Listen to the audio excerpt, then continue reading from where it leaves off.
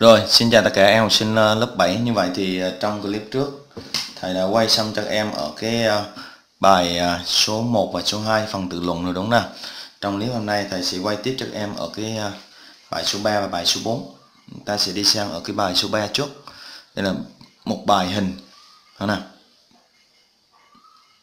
Bài số 3 các em Cho tam giác ABC vuông tại A có góc B bằng 60 độ và cạnh AB bằng 5 cm. Ở đây ờ, ta lưu ý là người ta đã cho em vuông tại A nghĩa là góc A sẽ bằng là 90 độ mà trong khi đó góc B người ta bằng 60 độ thì chứng tỏ góc C sẽ bằng bao nhiêu độ? Sẽ bằng 30 độ. Tại vì trong một tam giác tổng số đo sẽ là bằng 180 độ mà ở đây vuông tại A thì chứng tỏ là bằng 90 độ, góc A bằng 90 độ, góc B bằng 60 độ thì chứng tỏ góc C sẽ bằng 30 độ. Cạnh AB bằng 5 cm. Như vậy thì bây giờ chúng ta sẽ tiến hành vẽ hình này tam giác vuông thì uh, thầy sẽ vẽ cái góc vuông. Nó dưới dạng như thế này. Góc B người ta cho ở trên bằng à, 60 độ. Thì góc C sẽ bằng 30 độ này. Như vậy thì đây góc A này. Đây 60 độ là góc B này. À. ok. Được chưa? Cạnh AB chúng ta đây bằng 5 cm này tia phân giác của góc B cắt AC tại D. Tia phân giác là gì? Tia phân giác là tia nằm giữa và chia cái góc đó thành hai góc nhỏ bằng nhau. Như vậy thì ở đây 60 độ thì cái góc B này là tia phân giác thì mỗi góc sẽ bằng 30 độ và nó nằm giữa này. Đây. Đây là D. Thì hai cái góc này bằng nhau này và mỗi góc sẽ bằng 30 độ này. Ở đây sẽ 30 độ này. Ừ. Góc C chúng ta tính nhẩm thôi em ta tính nhẩm, chúng ta điền lên trong quá trình mà khi mà chúng ta trình bày á, thì bắt buộc chúng ta phải tính toán là tại sao chỗ này bằng 30 độ và tại sao chỗ này bằng 30 độ. Chứ không phải nó ở ờ, tôi tính nhẩm, tôi nhìn nhìn trên hình, tôi biết không phải đâu. Chúng ta phải tính ra để cho giáo viên khi chấm để người ta thấy, ha. Kỹ DE vuông góc BC tại tại E.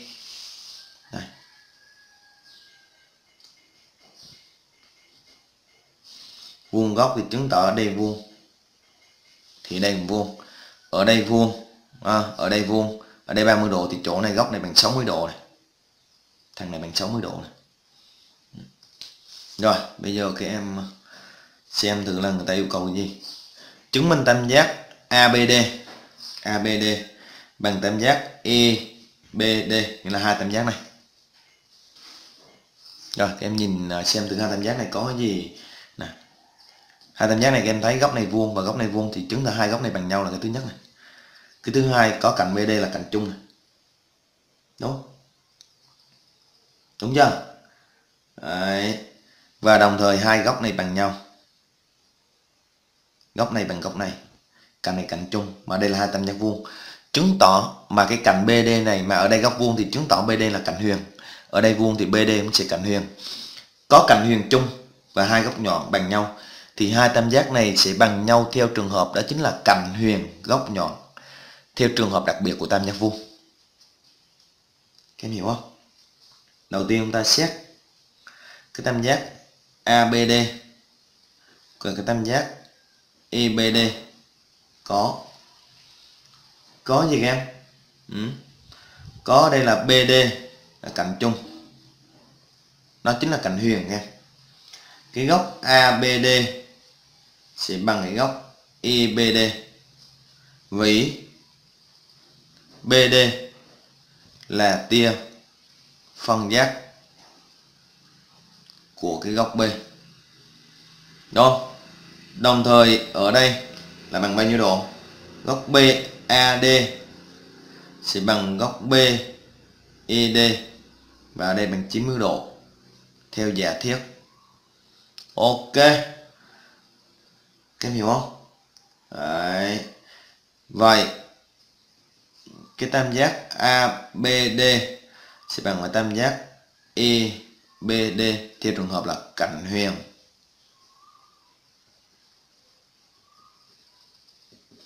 Góc nhọn. Đồ nè. Đó. Quá dễ phải không? Thuộc B. Dễ đối với những bạn biết nhưng mà khó đối với những bạn không biết. Vậy thôi chứng minh tam giác ABE là tam giác đều ABE đây nghe.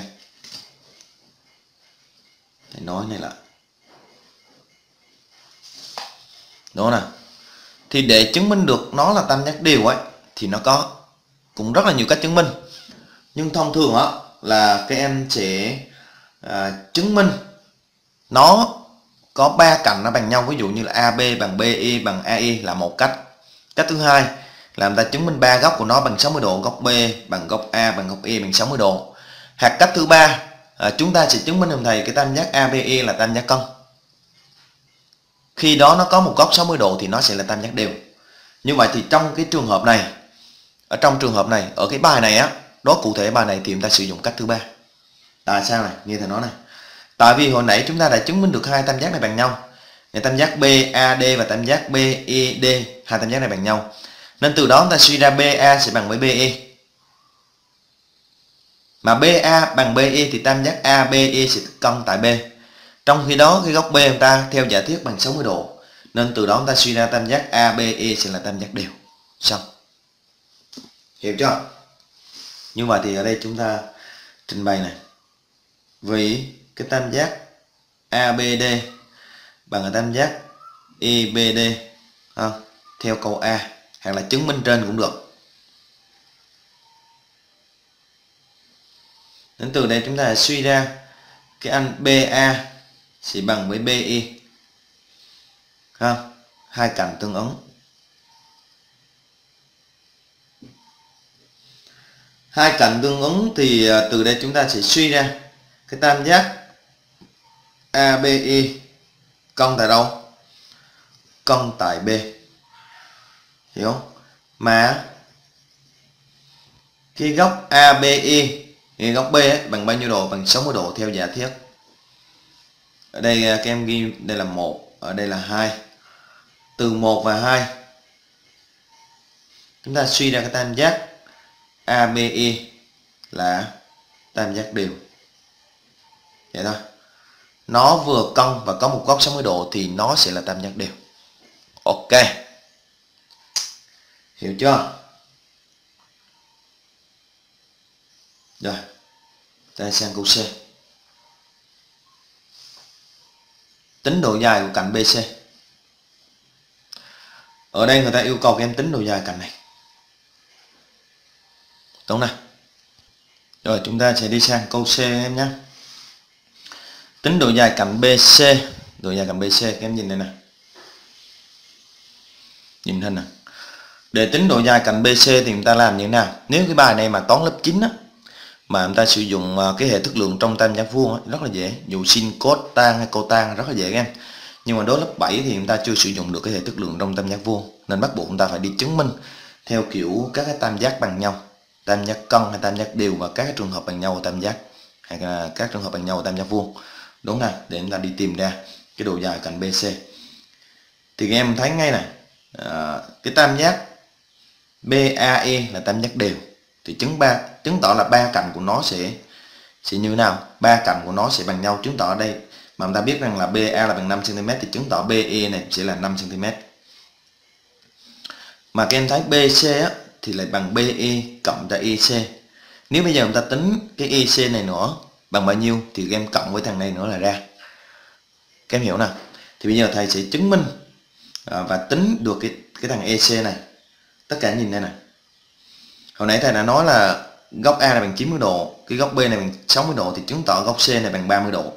Thầy sẽ tính được góc này bằng 30 độ. Tia BD là tia phân giác, mà góc này là 60 độ thì chứng tỏ góc này bằng 30 độ, góc này bằng 30 độ. Như vậy người ta để ý thầy tam giác này BDC BDC có góc này bằng 30 độ, góc này bằng 30 độ. Hai góc ở đấy bằng nhau chứng tỏ cái tam giác BDC là tam giác cân đúng không? Nó chính là tam giác cân tam giác cân thì khi đó B BD sẽ bằng với DC được không? BD sẽ bằng với với DC ok. Này cân tại D nha. Cân tại D. Mà khi đó chúng ta có cái đường cao. DE chính là đường cao, tại vì DE vuông góc BC đúng không? DE là đường cao của tam giác cân BDC cân tại D DE đường cao. Thì khi đó cái đường cao này nó sẽ chia cạnh huyền. À, à cái đường cao này nó thầy lỗi trong cái tam giác cong B thầy xin lỗi nó bị nhầm cạnh huyền nha.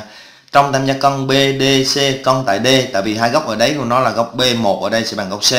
Thì cong tại D khi đó DE này chính là đường cao thì khi đó DE này nó sẽ chia cái đường chia cái cạnh cái cạnh BC thành hai cạnh bằng nhau.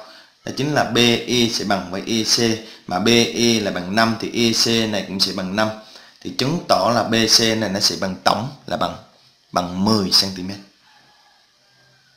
hiểu chưa? Đấy. rồi, chúng ta sẽ tiến hành trình bày em thầy nha. Ta có này. Đầu tiên thầy tính góc C trước để bằng à, bằng 30 độ BCA bằng 180 độ. Phải nào?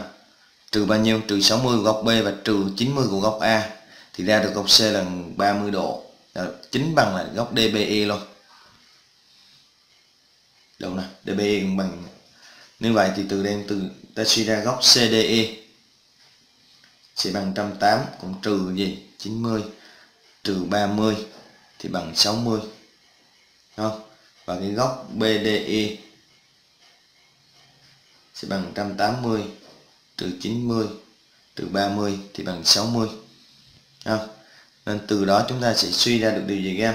Suy ra cái góc à, CDE sẽ bằng BDE là bằng 60 độ. Nên từ đây chúng ta sẽ suy ra DE là tia phân giác của góc BDC BDC chúng ta lại có cái anh DE thì vuông góc với lại BC theo giả thiết này. Nên từ đây chúng ta suy ra cái anh à, tam giác BDC cân tại đâu em? Nãy thầy nói cân tại đâu? Cân tại D. Nên từ đây chúng ta suy ra cái anh BE sẽ bằng anh EC mà cái tam giác ABE à, đều. Đều nên từ đây chúng ta suy ra cái anh B BI sẽ bằng ăn BA sẽ bằng 5 cm nên từ đây chúng ta suy ra BC sẽ bằng 2 nhân cho BI sẽ bằng 2 nhân cho 5 là bằng 10 cm vậy BC bằng 10 cm xong. Đó.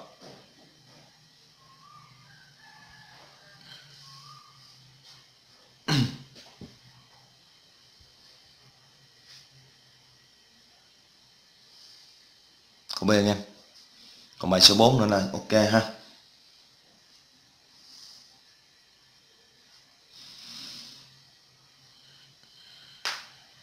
Rồi, ta đi sang câu số 4 luôn nha.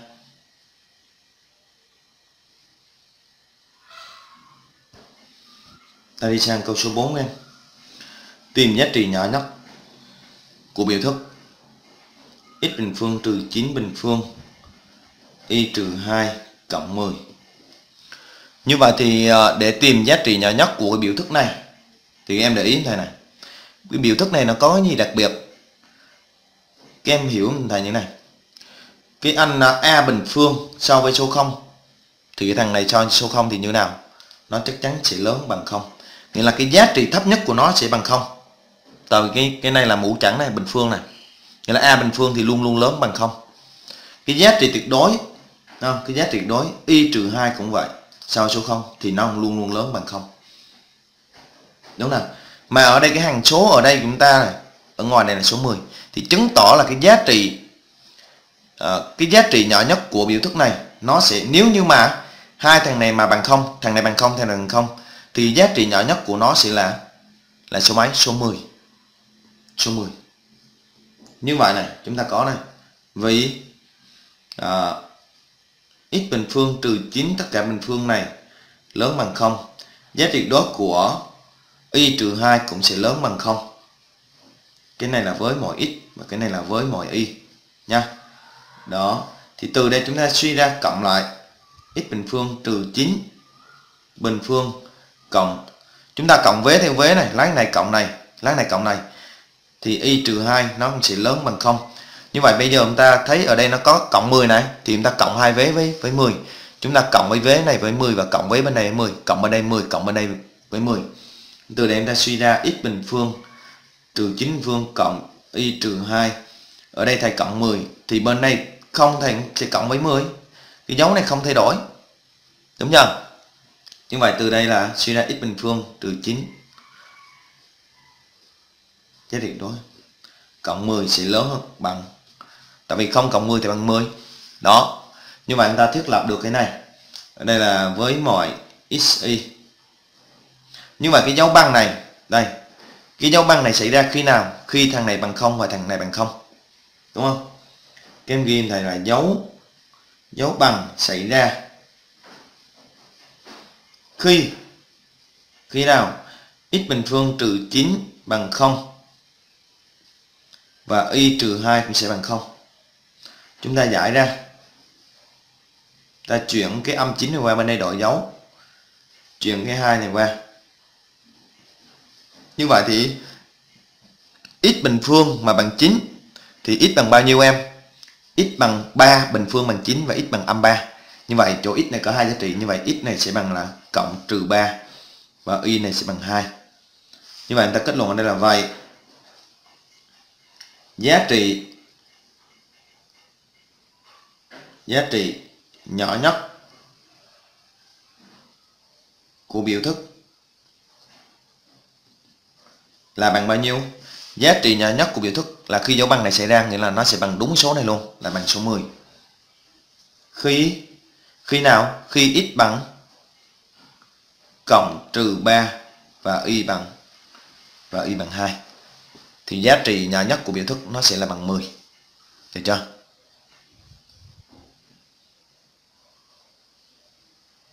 Bài số 4 em